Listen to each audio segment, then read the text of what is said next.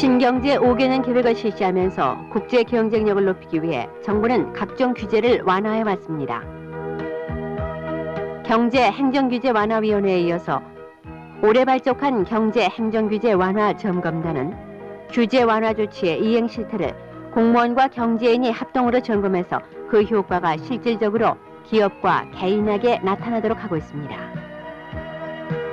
그동안의 경제 행정규제 완화 추진 상황을 보면 4차에 걸쳐 대상 과제 1071건 중 94년 1월까지 794건이나 해결했습니다.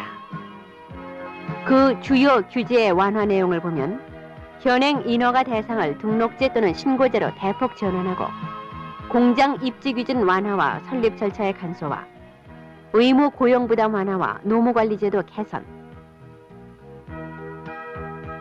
수출입 절차의 간소화, 금융, 증권, 외화 관련 규제 완화, 그리고 조세와 관세 납부 절차 개선 등을 꼽을 수 있습니다.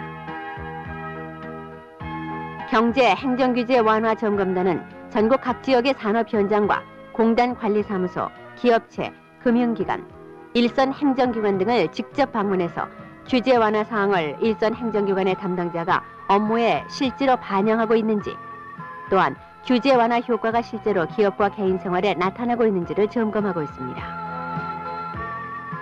점검단은 일선 공무원과 민간업계의 의견도 대폭 수렴하면서 점검 결과를 매달 한 번씩 대통령께 직접 보고합니다.